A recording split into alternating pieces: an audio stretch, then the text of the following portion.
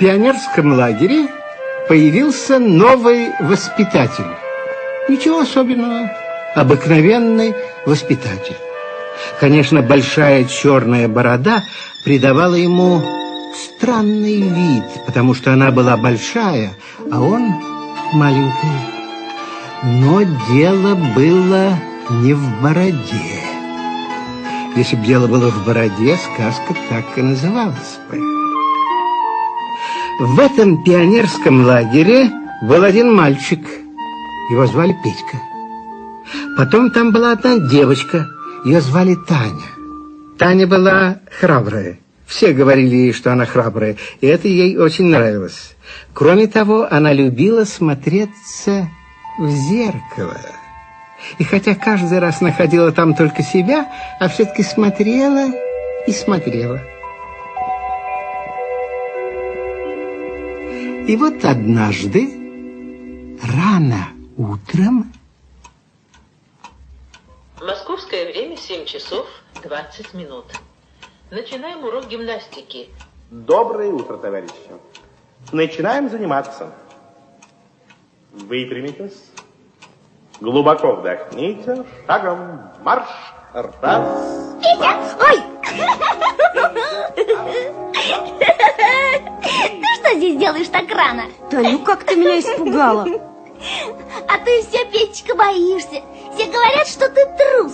И как тебе не стыдно? А зато я умный и замечаю такое, что и храбрый не заметит. И что ж ты, интересно, заметил, а?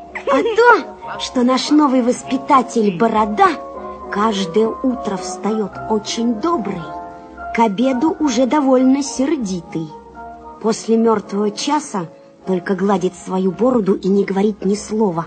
А уж вечером лучше к нему не подходи. Сверкает глазами и рычит. Ну и что? А вот я очень люблю нового воспитателя. Ну, ну конечно. Да, да, да, да, да. Мне даже нравится его борода.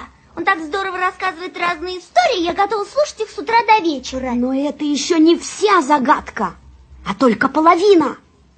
Я могу тебе рассказать такое, да оторвись ты от зеркала. Ну, я только посмотрела, как у меня завязана ленточка. Ты рассказывай, рассказывай.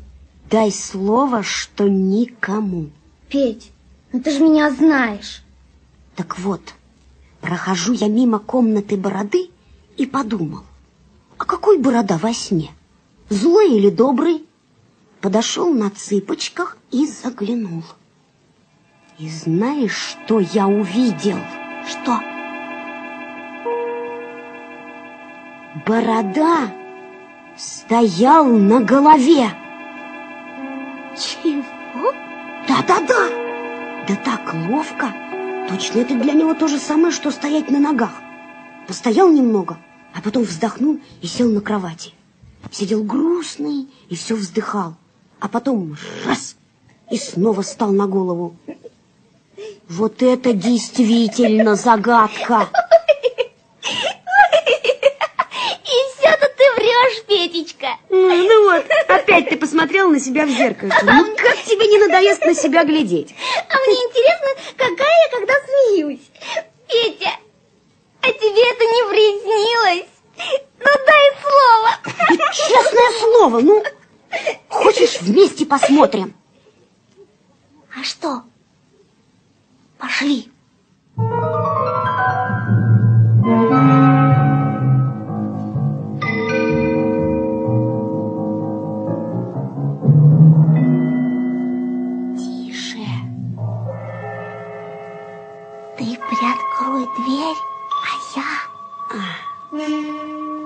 Уже закрыта. А через... а через замочную скважину ничего не увидишь. Тише. Я слышу, как борода вздыхает. Окно этой комнаты выходит на балкон. Полезли по трубе на балкон и увидим, стоит борода на голове или нет. И что ты придумала по трубе? Да Тогда я одна. ладно, лезем. Ну вот, мы и на балконе, а ты боялся. Опять ты струсил. А ты опять посмотрела на себя в зеркальце. А это просто, чтобы узнать, не очень ли я растрепалась. Теперь тихо. на цыпочках к окну.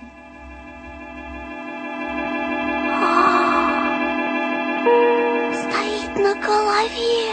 Ага, я тебе говорил. Дай мне поглядеть в окно.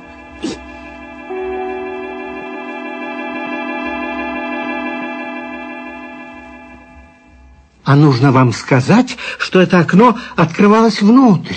И когда Петька и Таня на него налегли, оно вдруг распахнулось, раз, и ребята хлопнулись прямо к ногам бороды. То есть, вернее, не к ногам, а к голове, потому что он стоял на голове. Борода встал на ноги и спросил. Ой, вы не очень ушиблись, а? Ничего, ничего, спасибо. Сейчас я принесу вам свинцовую примочку. Я чуть не помер с испугу. А ты молодец, даже вынула свое зеркальце.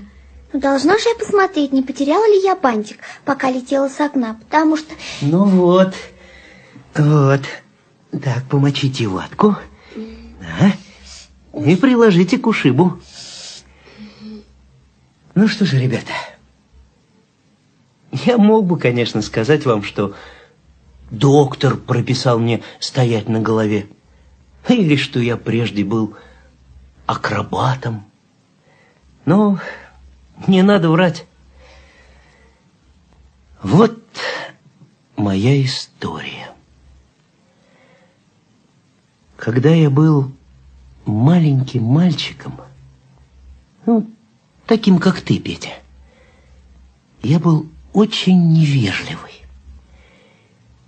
Никогда, вставая из-за стола, я не говорил маме спасибо. Да, когда мне желали спокойной ночи, я только показывал язык и смеялся. Никогда я вовремя не являлся к столу, и нужно было тысячу раз звать меня, пока я, наконец, отзывался. Ой, в тетрадях у меня была такая грязь, что мне, мне самому даже было неприятно. Но раз уж я был невежливый, стал быть и неаккуратный. Никогда я не знал, который час. И часы казались мне самой ненужной вещью на свете. Да. И вот однажды к моей няне пришла в гости одна старушка.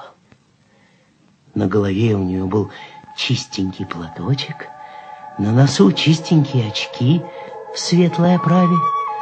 В руках она держала чистенькую палочку, и вообще она была, должна быть, самая чистенькая и аккуратная старушка на свете. И вот она пришла, поставила палочку в угол, очки она тоже сняла и положила на стол, а платочек положила себе на колени.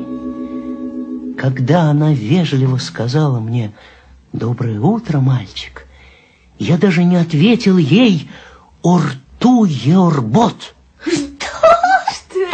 Как что? Как что? Это все-таки тоже значит «доброе утро».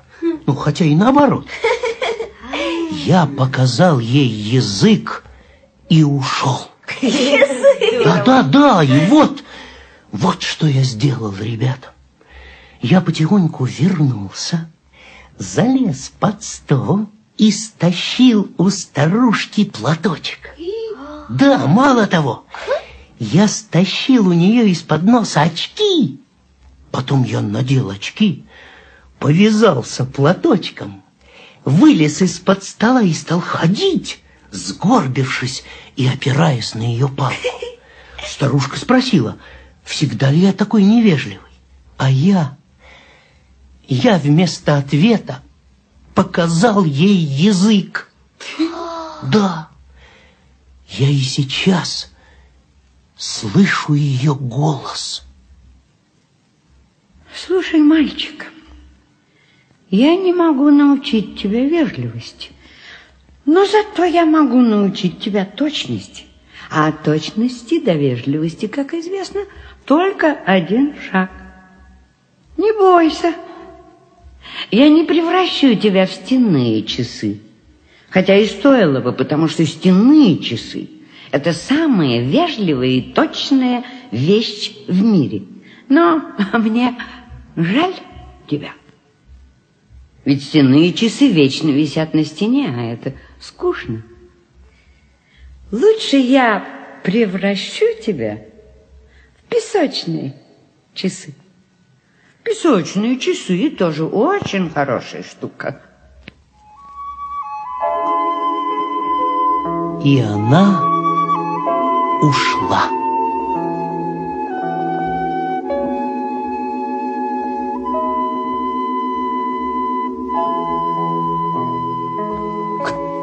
Эта старушка? Неужели вы не поняли, что это волшебница? О, если бы я тогда знал, кто эта старушка, я бы не стал показывать ей язык. Это была фея вежливости и точности. И вы превратились в песочные часы. Хм, Ну, конечно, конечно, я не стал настоящими песочными часами. Ну вот, например, вот смотрите, у меня борода. Ну где же видано у песочных часов борода? Да, но я стал совсем как часы.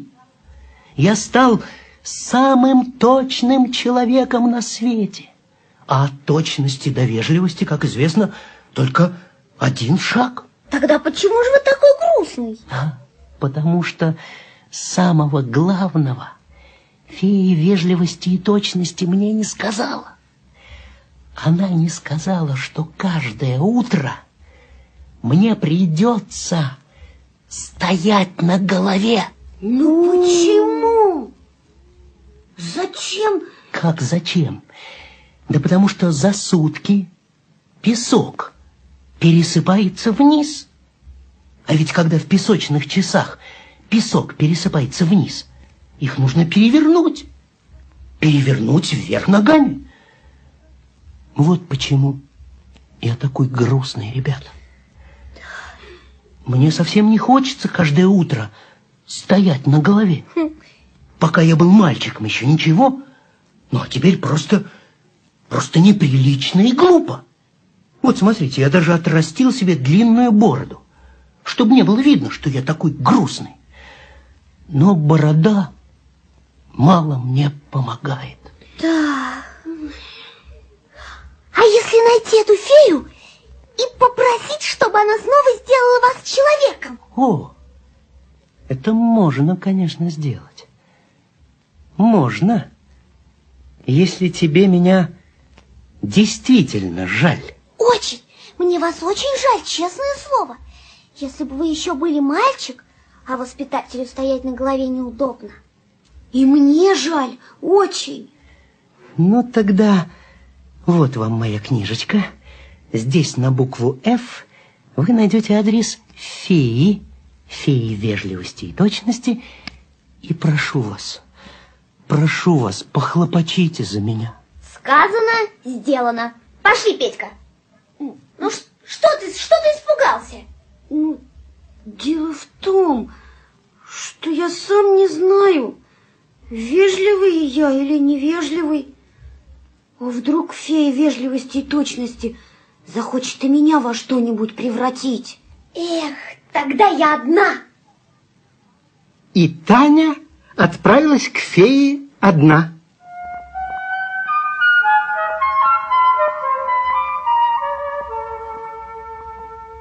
Без сомнения, это была самая чистенькая комната в мире. На чистом полу лежали разноцветные чистые половички. Окна были так чисто вымыты, что даже нельзя было определить, где кончается стекло и начинается воздух. На чистом подоконнике стояла герань, и каждый листик так и блестел, точно фея начистила его зубной пастой. В углу висели ходики. Сразу видно было, что это самая вежливая и точная вещь в мире. Они только тикали. Тик-так, тик-так, тик-так. Но это значило, вы хотите узнать, который час? Пожалуйста. а сама фея сидела у стола и пила черный кофе. Таня поклонилась ей так вежливо, как только могла. При этом она посмотрела в зеркальце, чтобы узнать, как это у нее получается. Здравствуйте. Здравствуй, Таня. Я ведь знаю, зачем ты пришла, но нет, нет, нет, нет, нет. Это очень противный мальчишка. Он уже давно не мальчишка. У него длинная черная борода. Для меня он еще мальчишка. Нет, пожалуйста, не проси за него. Я не могу забыть, как он стащил мои очки, мой платочек, и как передразнивал меня, сгорбившись и опираясь на палку. Надеюсь, что с тех пор он довольно часто меня вспоминает. Вы извините меня, но, может, вы все-таки будете так добры и расколдуете его, а? Я вижу, что ты очень вежливая девочка. Но почему ты все время смотришь на себя в зеркальце? А чтобы узнать, как эта вежливость у меня получается. Видите ли, мы его очень любим, особенно по утрам. А если в лагере узнают, что ему приходится стоять на голове, над ним станут смеяться? Вы не поверите, но мне его так жаль, так жаль, что я просто не знаю. Ах, так тебе его жаль? Но это другое дело, это, это очень хорошо, что тебе его жаль. Это первое условие для того, чтобы мое колдовство пропало. Но вот под силу ли тебе будет мое второе условие? А не будете ли вы так добры рассказать, что это за условие? Не надо так стараться. Я верю, что ты вежливая девочка. И спрячь свое зеркальце. Но мне только хотелось узнать, как я выгляжу, когда так вежливо разговариваю. Я слушаю ваши условия. Ты должна отказаться от того, что тебе нравится больше всего на свете. Ты не должна смотреться в зеркальце ровно год и один день. Вот тебе раз. Как же быть? Целый год не смотреться в зеркало? Это ужасно. Ведь, по правде говоря, я смотрю в зеркальце каждую минуту, а тут, здрасте, целый год. Год и один день. Но понимаете, ведь это очень неудобно. Например, утром, когда заплетаешь косы. Как же без зеркала? Ведь я тогда буду ходить растрепанной, и вам самой это не понравится. Как хочешь. Конечно, это ужасно. Но, с одной стороны, мне ведь это все-таки легче, чем бедному бороде каждое утро стоять кверх ногами. Я... я согласна. Давай свое зеркальце. Вот оно. Я приду за ним через год. И один день. До свидания. До свидания. Таня отдала фее свое зеркальце и вернулась в лагерь.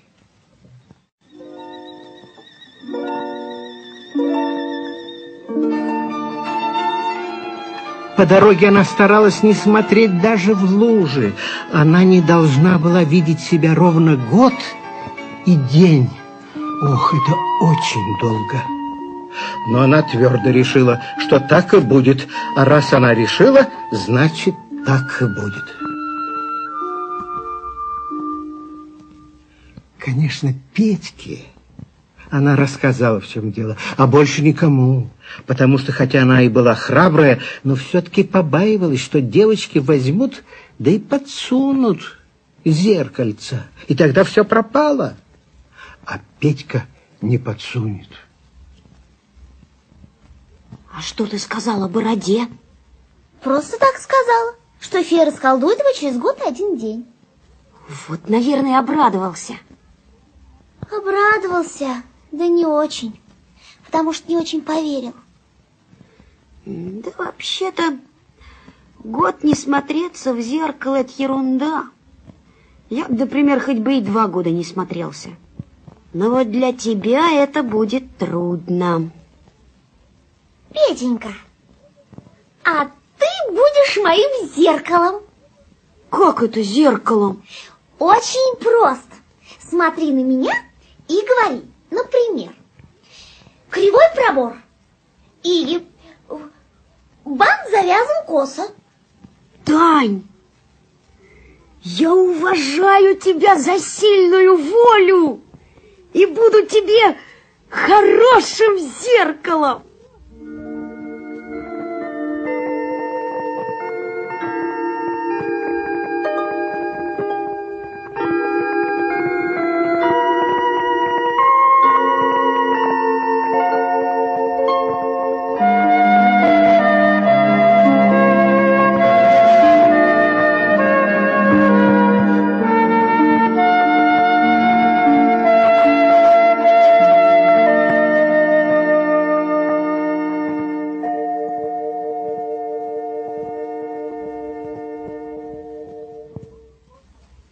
Но вот кончилось лето. Таня вернулась в город, и начались трудовые дни.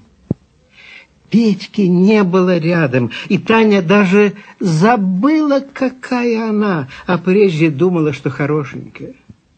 Случалось, что она воображала себя красавицей, а сама сидела с чернильной кляксой на лбу. Случалось, что наоборот, она казалась себе настоящим уродом, а сама была как раз ничего. Такая румяная, с толстой косой, с блестящими глазами. Но все это пустяки по сравнению с тем, что случилось на открытии нового дворца пионеров. Это был дворец так дворец. В одной комнате стоял даже капитанской мостике можно было кричать в рупор «Стой, задний ход!».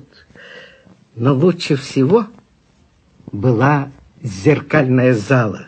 В этой зале были зеркальные стены, зеркала отражались в зеркалах, а эти зеркала в других из зала казалась бесконечной. Целый год ребята ждали открытия дворца и готовились выступить и показать свое искусство. Скрипачи не расставались со скрипками, художники рисовали вовсю, а Таня готовила танец. И вот наступил торжественный день, и все побежали во дворец пионеров. Ленточки, которые заплетают в косы, Таня гладила восемь раз. Ей все хотелось, чтобы в косах они оставались такими же гладкими, как на гладильной доске. Кого же Таня встретила, едва только вошла во дворец? Петьку. Петька был тут как тут. Конечно, Таня прежде всего сказала ему. Петька! Ты всегда будешь моим зеркалом. Ну, повернись. Пробор прямой. А теперь спиной повернись. Бант завязан ровно. Все хорошо, только... Что? Нос как картошка. Петька попадет же тебе. Внимание! Тишина. Даю занавес.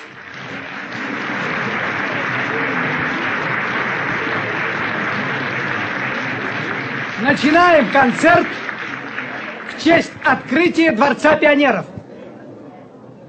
Выступает ансамбль скрипачей.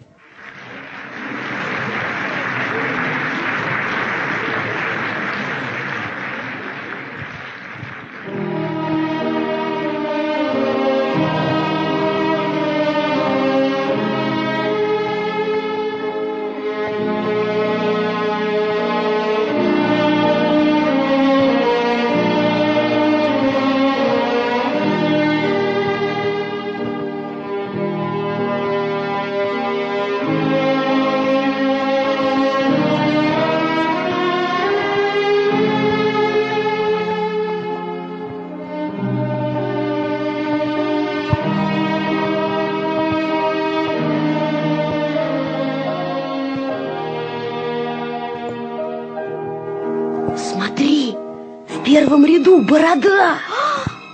Ну зачем ты мне показал? Теперь я буду волноваться. И почему обязательно было сажать его в первый ряд? Ну, нельзя же человека с такой длинной бородой посадить во втором или в третьем. Ой, Петя, а что это так сверкает в зале?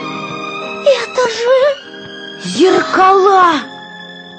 Зал-то весь зеркальный!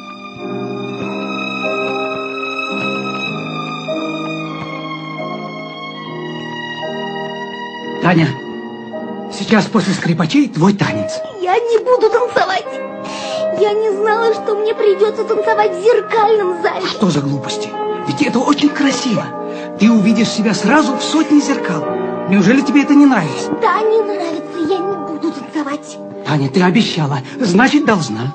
Ну, мало ли что у человека бывает. Объясни, в чем дело. Я не могу вам ничего объяснить. Ну, Таня, Ну, хорошо, хорошо, я буду танцевать. ну прекрасно. А ты, Петя, иди в зрительный зал.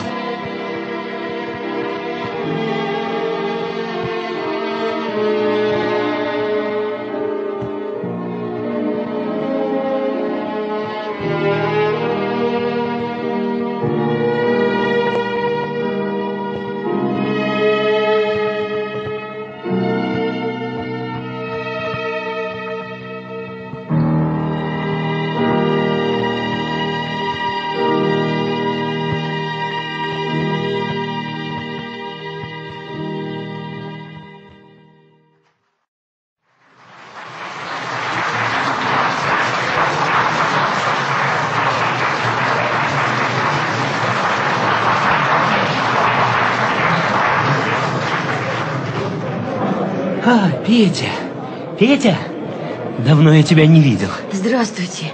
Это место свободно, можно сесть? Проходи, проходи, садись. Сейчас будет танцевать Таня.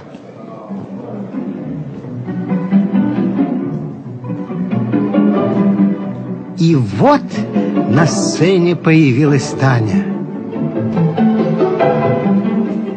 Она была в легком белом платье, таком легком, чистом и белом, что сама фея в вежливости и точности, которая так любила чистоту, осталась бы им довольна. В косы, которые Таня уложила вокруг головы, были вплетены веточки снежного деревца, и она сама напоминала снежное деревце.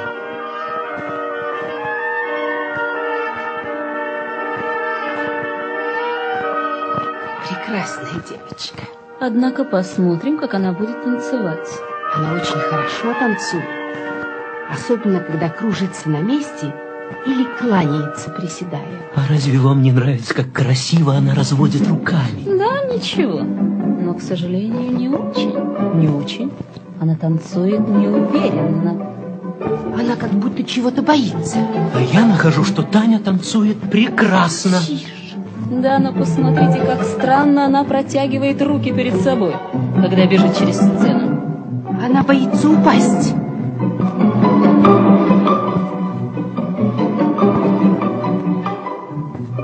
Нет, эта девочка, пожалуй, никогда не научится хорошо танцевать. Эти слова как будто донеслись до Тани. Как ветер понеслась она по сцене, ведь в зеркальном зале было много ее друзей и знакомых, и ей очень хотелось, чтобы они увидели, как хорошо она умеет танцевать. Больше она ничего не боялась. Во всяком случае, никто больше не мог сказать, что она чего-то боится. И во всем огромном зеркальном зале был только один человек, который все понимал. Как же он волновался за Таню. Это был Петька.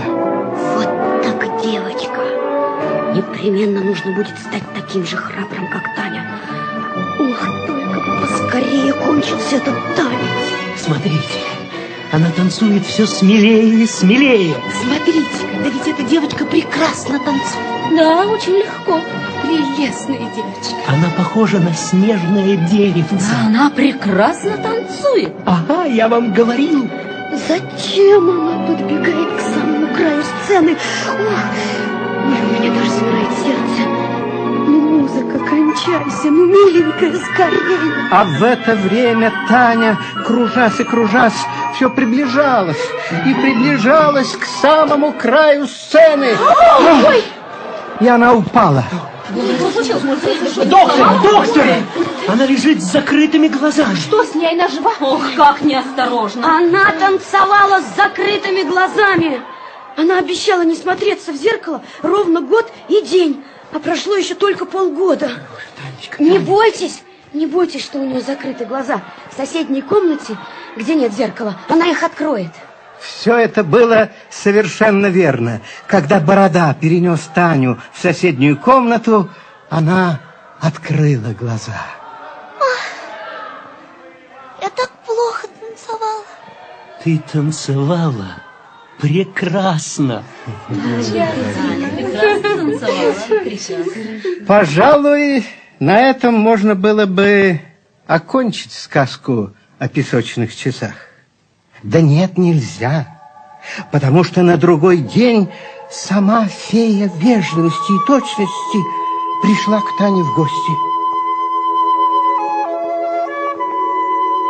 Она пришла в чистеньком платочке, а на носу у нее были чистенькие очки в светлой оправе.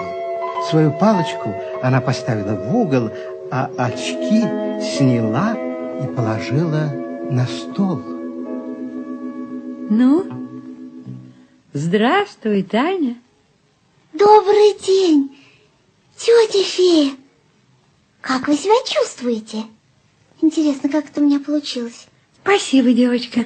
Так вот, ты исполнила свое обещание, Таня.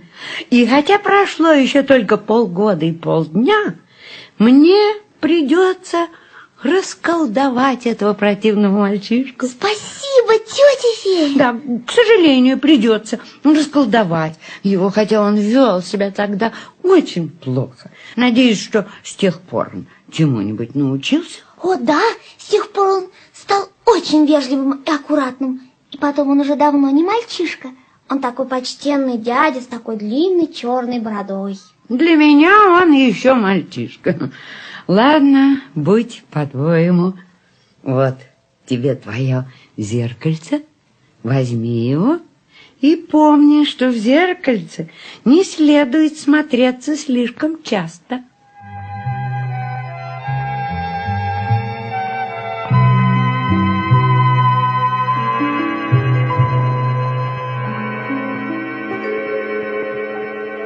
С этими словами фея исчезла. Феи в сказках всегда исчезают, когда им нечего больше делать. И Таня осталась наедине со своим зеркальцем. Ну-ка посмотрим, какая я стала. Из зеркальца на нее смотрела все та же Таня. Но теперь это была уже большая Таня, решительная и серьезная, как и полагается девочке, которая умеет держать свое слово. Конечно, вы хотите узнать, ребята, что теперь поделывает борода. Фея расколдовала его, так что теперь он уже нисколько не похож на песочные часы ни внутри, ни снаружи. Больше он не стоит по утрам на голове, ведь теперь это совершенно не нужно. Но по вечерам он еще иногда бывает злой. И когда его спрашивают, что с вами, почему вы такой злой, он вежливо отвечает, не беспокойтесь, пожалуйста. Это привычка.